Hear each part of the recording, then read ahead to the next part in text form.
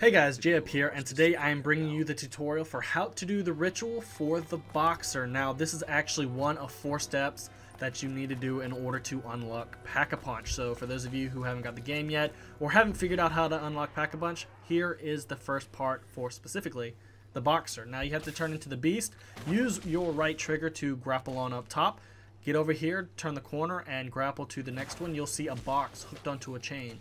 What you need to do is melee that box until it falls, and then turn back into a human. You will walk over to where the box fell, and you will pick up the belt that was actually left behind. Once you have done that, we're going to move on to the next step, which is unlocking the actual docks location for the boxing ring where you need to actually do the ritual and perform it because the next step you have to do is go ahead and get behind the boxing ring, grab the beast uh, changing perk, I guess you can call it for yourself. And then what you're going to need to do is come over here and melee the front doors. You can't open them with points. You actually have to be the beast. And melee it. When you turn back into a human, go ahead and go back around the front to the location. What you're going to want to do is place uh, the belt on top of the ritual stand. And then you're going to want to hit XF, whatever you're using again, which will activate the ritual. And what you need to do is basically just survive in here.